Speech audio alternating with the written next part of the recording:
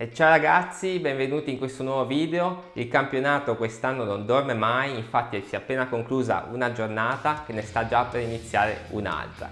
Fatemi sapere qua sotto com'è andata la vostra giornata di fantacalcio, se avete vinto, perso oppure pareggiato, raccontatemi aneddoti, tutto quello che volete qua sotto. Il mese di marzo sarà un mese veramente intenso, sia calcisticamente che fantacalcisticamente. Si inizia già domani con un turno infrasettimanale e si finisce con la pausa per le nazionali. In tutto saranno quattro incontri che saranno determinanti per alcune situazioni della classifica. Andremo ad analizzare squadra per squadra su quali giocatori è meglio puntare per il mese di marzo, quali è meglio invece evitare e quali potrebbero essere delle sorprese, delle scommesse magari dei nomi poco noti che però potrebbero fare bene e aiutarci nei nostri fantacalcio. In questo video vedremo la seconda parte della classifica mentre nel video che uscirà domani analizzeremo le squadre della prima parte della classifica. Io prima di iniziare ti invito sempre a spaccare il tasto dei like, a iscriverti al canale e ad attivare la campanella per questi ed altri contenuti.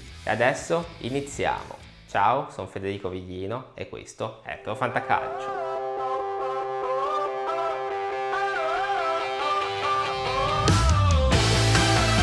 Iniziamo dal fondo della classifica e analizziamo il Crotone, una delle squadre meno in forma del momento. Infatti sono numerose anche le voci di un possibile esonero del tecnico Stroppa e i calabresi hanno appena perso lo scontro salvezza contro il Cagliari. Il cammino per quanto riguarda il mese di marzo non è affatto facile e vedrà la squadra del Crotone affrontare Atalanta, Torino, Lazio e Bologna. Sinceramente il loro destino mi pare ormai segnato, ormai è molto probabile che il Crotone quest'anno retroceda Perciò a livello di fantacalcio vi invito a puntare su quei giocatori che facendo bene e mettendosi in mostra possono attirare su di sé lo sguardo di club più blasonati per la prossima stagione. Il giocatore più in forma in questo momento è sicuramente un as, mentre vi sconsiglio di utilizzare il reparto difensivo del Crotone e anche Simi, ormai scivolato nelle gerarchie del tecnico.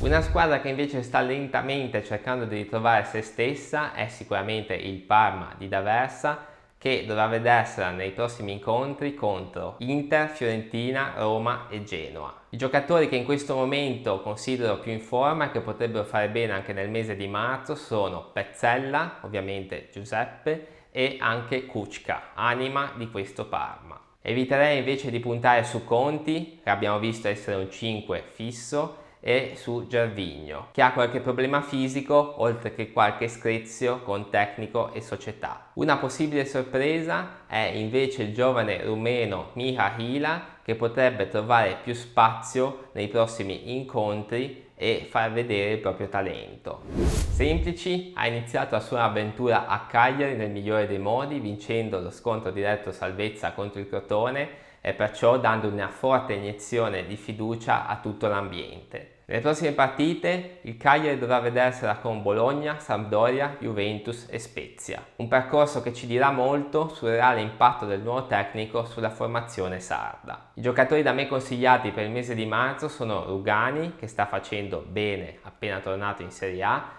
Pavoletti che sembra rigenerato con l'arrivo del nuovo tecnico e anche Joao Pedro, tornato al gol e seconda punta ideale per questo Cagliari. Mentre non ho buone sensazioni per quanto riguarda Simeone, relegato in panchina in questa prima uscita con semplici e secondo me meno adatto di Pavoletti al gioco del tecnico. Una possibile sorpresa è invece Asamoah che potrebbe ritagliarsi sempre più spazio sulla corsia sinistra cagliaritana. Parliamo ora del Torino, una squadra che potrebbe vedere il mese di marzo fortemente compromesso dalla situazione Covid. Vi ricordo che i nomi dei positivi al Covid non sono stati resi noti, ma che dovrebbero essere, e prendete questo dato con le pinze, Nkulu, Bremer, Buongiorno, Singo, Murru, Baselli, Linetti e infine il Gallo Belotti. Capite bene che con metà formazione titolare positiva al coronavirus, una volta che il Torino sarà abile a tornare in campo, sarà veramente come una nuova ripartenza, un po' come è stato per il Genoa mesi fa. Le prossime partite dovrebbero essere quelle contro Lazio, Crotone, Inter, il recupero con il Sassuolo e infine la Sampdoria. Ma è molto probabile che alcune di queste partite vengano rinviate e perciò, vista la situazione nel complesso, non mi sento di consigliarvi o di non consigliarvi giocatori in particolare, ma vi consiglio di monitorare bene la situazione. Una delle squadre rivelazione di questo campionato è sicuramente lo Spezia d'Italiano, che dovrà vedersela nelle prossime partite contro Juventus, Benevento, Atalanta e Cagliari. Per il mese di marzo vedo molto bene Ricci, Maggiore e anche rientrante Nzola pronto a dare nuova profondità al gioco d'italiano, mentre sconsiglierei Saponara e Pobega che hanno anche qualche problemino fisico e anche Vignali che non dà abbastanza garanzie sull'out di destra. Piccola scommessa invece il difensore centrale Ismaili che sembra aver preso i gradi di difensore titolare nello scacchiere italiano e potrebbe fare bene.